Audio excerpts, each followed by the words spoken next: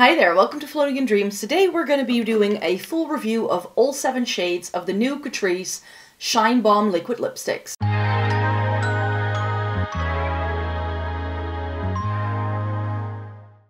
Welcome to everybody watching today. Thank you so very much for joining me. Today's video is going to be an overview of all seven shades that Catrice has released in the new Shine Bomb liquid lipstick. So I already told you about these when I did my first impression, when the collection was first launched in January. However, I did not have all the shades yet. I think I had four out of seven, and in the meantime, I have been tracking down the remainder three, which means we can do a full-on lip swatch video today, and I will be inserting some pictures of all of the swatches that I have as well, so that you can see how these shades compare. In case you're new here and you've never seen one of my videos, then hi, my name is Maaike. I live in the Netherlands. I have fair skin with a cool to neutral undertone, and this greatly influences my makeup preferences. I have been reviewing makeup for more than a decade, I love eyeshadow palettes, Essence and Catrice reviews, and getting the use out of my makeup. So if that sounds like something you're interested in, then I hope you'd like to consider subscribing by clicking clicking the button down below. So we have seven new shades of these Shine Bomb liquid lipsticks.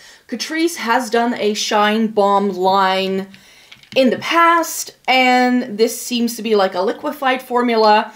However, I feel that this is like the Catrice dupe of the Maybelline Vinyl Inks. That's how they're promoted. It says to shake them and then it should uh, dry down to a high glossy finish. Because it took me a while to gather all of the shades, I have been testing these out on the down low. So I have whipped some of these on throughout my work weeks to see how they wore and whether I like the formula. And formula-wise, this is not my favorite. It feels quite heavy on the lips, but they're super pigmented. They definitely have that glossy shine and they have really good lasting power. They don't have the weird dry down that you may remember from some lipstick, liquid lipsticks having, so I think that's a plus as well. But that does affect the wear time. So if you were looking or hoping that these would be like budge-proof 12-hour lipsticks, that's not what these are but they do have a really pretty finish. I just don't find them this most comfortable to wear. And I find that as I'm eating and drinking, because of that heavier texture, I get a lot of staining on all of my cups and all of my like cutlery. And it tends to slide around quite a bit when I am consuming food. And since I'm a teacher in my day-to-day -day life and I talk all day long, I don't like lipstick formulas that I need to babysit because they could, like this can slide around and get all over your teeth. These have a tendency to really get caught in the corners of my mouth and then sort of like bleed into this horizontal line. I get that with any sort of lipstick formula that is a touch too heavy or that I apply too thickly. And with these, I feel I have it without fail. So that's why I like them. I think it's a good one from Catrice to do this at a more budget-proof price point. Um, and I definitely will keep one or two, two of these around because there are some shades here that I think are really pretty. Um, but I don't think these are going to be like lasting, like, like these are not going to stand the test of time in my personal makeup collection, but if you're interested in getting some of these, then maybe putting these on my lips can be helpful for you to know what these shades actually look like on someone with pretty pale skin with a more cool toned undertone and to just see how these all wear. So let me throw these on and we're gonna get started with the first one and this is 010 French Silk. And here we have what 010 French Silk looks like on my lips. I don't think this is super offensive, but, but this is not the kind of nude that I normally go for. Judging by the packaging, I thought it was going to be lighter, but it's definitely also a little bit more warm toned for me. I'm wearing a very neutral sweater today. I'm wearing a very neutral makeup look otherwise, so we can really see all of these colors here.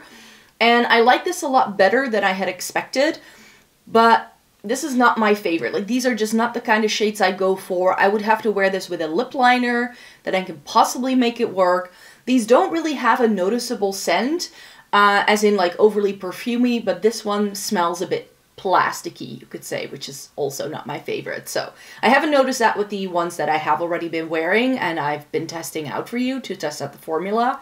But yeah, this is a pretty shade. It is a lot more flattering than I had expected. and it's just a pretty nude if that's what you're looking for. Next up is 020 and this is the shade Good Taste.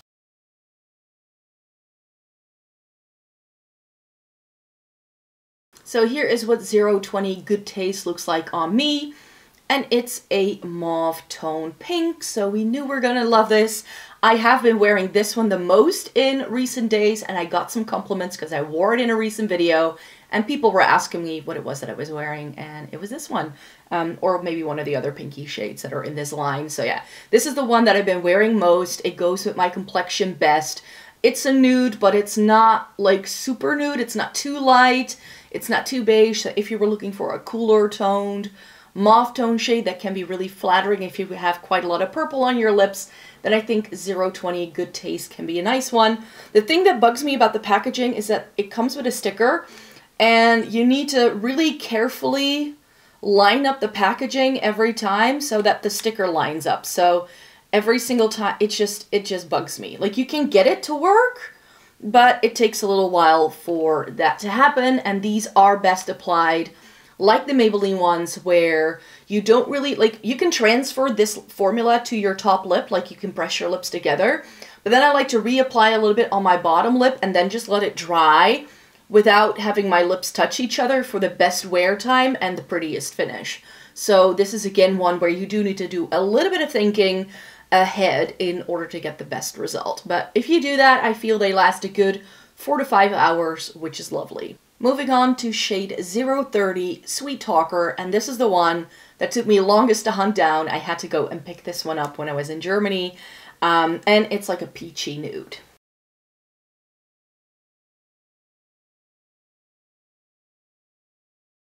So here is what the shade Sweet Talker looks like, and again, on my lips, this isn't horrible. I usually don't look that great in peach lipsticks, but this one is pretty nice because it has more of that pinky vibe going on. So it seems like these lipsticks have a little bit of that quality that I like so much about a lot of my Lisa Eldridge ones where it may look like it's going to be like super peach, but because it has that pink, if you have that cooler undertone, the pink is going to shine through a little bit more. Um, and it just seems to have a really nice blend of shades, which is very rare to find at the drugstore price point. Another thing I really appreciate about these is the doe foot applicator. It is incredibly precise, which, especially with some of the deeper tones that are coming up, I'm going to appreciate. I just know it. But yeah, you can be very precise and really draw it if you use like the side of the doe foot. So you can use like the paddle side to fill in your lips and then use the smaller side to draw the edge of your lips, which makes these really, really easy to use indeed. Um, this one, again, shade-wise, I like it quite a lot on myself. I had not expected it. Um, so far, my favorite is still 020. That is one that I think I will definitely be putting into my lipstick collection. We have what looks like to be an orange toned red in the tube. This is 040, About Last Night. Let's see how this one goes.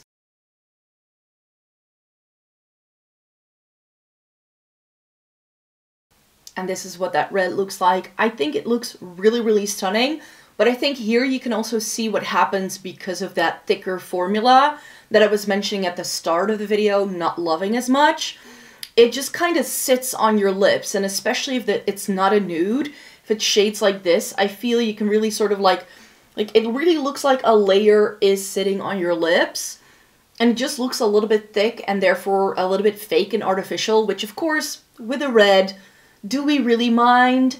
I don't think so, but I definitely think that this lipstick is a contender to be put on towards the end of the video because I need to go to a concert tonight, so I will be able to test this out and wear it for like over six hours today because it's roughly five o'clock as I'm filming this on my day off and I won't be home until past midnight tonight. So I thought I could throw in a wear test as well, and I think, because I'm planning on wearing this sweater out, um, and just a pair of jeans and like throw on a red lip and you've got a look. So I think I might want to keep this one off to the side and show that one to you in a wear test if I don't forget to film it as I get home because I may just be super tired. 050 is Feeling Berry Special, which seems to be a berry shade according to the packaging, so let's put it on.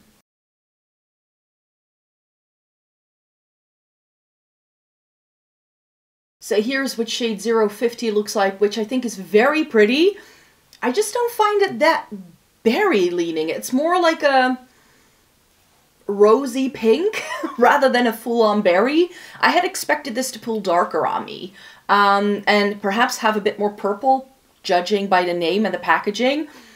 It's close. It's a pretty good representation of what the color actually looks like, but on me, it perhaps has a little bit more warmth than I would like to go for. I think this is the kind of shade that's going to look stunning if you have a deeper complexion. And this is 060 Pinky Promise, which in the packaging looks like a really cool tone pink. But I already wore this once and I feel it's not as light. It's gonna pull a lot darker if I remember correctly. So here's what Pinky Promise looks like, and I feel that this is the one that looks the least like the packaging, um, because this definitely pulls darker than the tube does. It's very flattering on me though. If you have a cooler toned undertone and you're looking for a good pink lipstick, this can be a nice one. It's got a lot of blue running through it, but it doesn't have a lot of white. So where a lot of these like very bright Barbie pink-esque kind of shades can sometimes look a little bit weird because they're just simply too light for most people, this actually has a really nice blend that it can work on a lot of different skin tones, I feel. This does have a bit of a hint of lavender blue to almost to it almost that I think is going to make this look especially good on people with cool undertone, but you don't have to be fair-skinned in order for this to work on you. I think this can work on people with fair skin to medium skin to even deeper skin tones. And I actually think um, that maybe if you were to blend these two together, because it is that kind of lipstick where I do feel you could like use one of them as a liner and then fill in your lips with another color. And I do think the berry shade and this one can complement each other a little bit uh, better. If, for instance, this is too cool toned for you, or if you want that ombre moment, then I think this can be a really nice combination for sure. But by itself, this is really pretty on. It is my second favorite, but I think my top favorite is still 020 for now because it's just it just has that blend of warm and cool. So I know it's to work for uh, me for a lot of different looks, whereas this, I can really only pull off if I'm wearing barely anything else on my face, and I would probably have to wear my hair down for this as well, just to have a little bit more something there to warm up my complexion. But this is very, very pretty on. It's just a touch darker than you might expect from just looking at it in the tube. And 070 would be the shade Hottie, which looks like it's going to be a chocolate brown.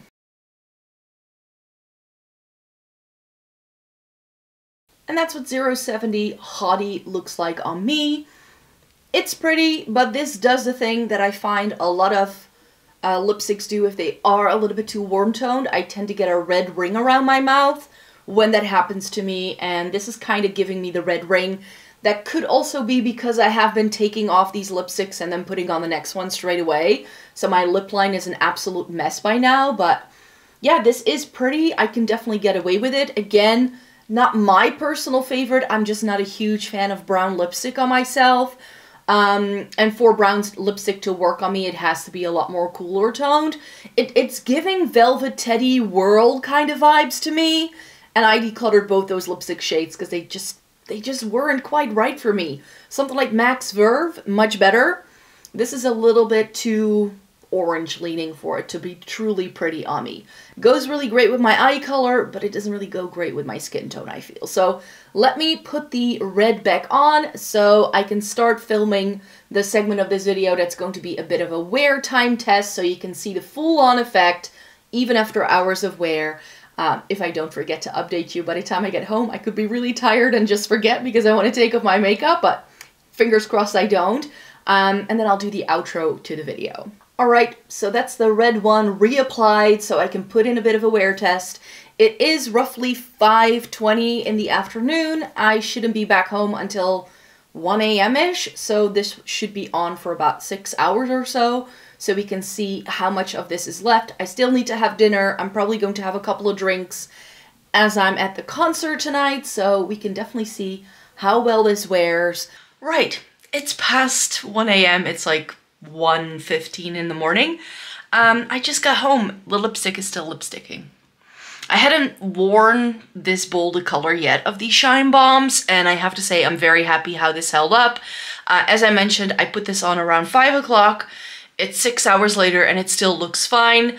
The best perk of this lipstick is that you can smush it back together when it wears down. You know how with some liquid lipsticks, once it wears out in the middle, you get this bare patch. And with this, you can just press your lips back together and we'll be fine. I had pasta, I had some snacks, I had some drinks, and this is still looking pretty okay. I mean, we can we can see the wear, it's but the, the color is still there, which for this price point at the drugstore, I think is a really good bet. So yes, these are long lasting as well. So that's the quick checking I want to do. I need to take off this makeup and head to bed. And that's the review for this Catrice Shine Bomb lipstick formula. It's like a more affordable version of the Maybelline Vinyl Inks, as I have already been saying uh, at, at the start of the video. I do feel that these are a little bit easier to work with in terms of how they apply. You just get a little bit more time to play with these. They don't dry down as quickly, and I find the doe foot a little bit easier to work with. These have nice lasting power for sure, I feel, but they don't last as long as the Maybellines. For some of the shades, I feel they sit on the lips a little bit too much, and um, I think that all of the shades are flattering on me. I could wear all seven of these and be exactly happy. So I hope this video was helpful for you to be as informative as I could be to help you figure out whether you might, might want to purchase any of these. Let me know in a comment down below what you're planning to do. I would love to know. In the meantime, please stay tuned on this channel because I have more Essence and Catrice lipstick and eyeshadow palette reviews coming your way. Over on the blog, I'm currently reviewing a lot of the products as well in terms of like blushes and highlighters. And then uh, if you want to hear my sort of like wrapped up, wrapped up thoughts on a lot of these products, you're going to have to stay tuned because whenever I have a bunch of new Essence and Catrice products in, I like to do like a little roundup video once I've had enough chance to try all of them, which is probably going to be like April or May. So thank you so very much for joining me here today. Thumbs up the video if you liked it. Subscribe to the channel if you'd like to see more by me. I make several videos on this channel four times a week, once a week over on my second channel, and I have a blog where I post daily content as well. So I hope to see you on one of those spaces in the meantime. For now, take care, and I hope you have a great day. Bye-bye!